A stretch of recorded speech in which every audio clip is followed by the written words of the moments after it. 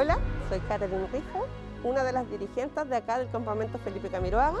Tengo 40 años. El Chile ideal de hoy en día, en un Chile donde una elaboración de proyecto no dure 6 meses, 8 meses ni un año, sería un Chile donde no existiera la vulnerabilidad, sino que existiera la proactividad y el consolidar todo lo que se proyecta en Chile debiese ser también un poco más escuchado en lo que es la clase baja.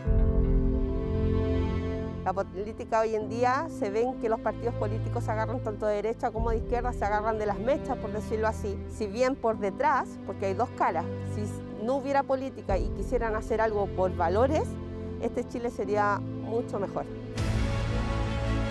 Les invitaría a conocer la realidad, no quedarse con el énfasis de la delincuencia o la estimación que existe en el país. Yo creo que indagar mucho más allá.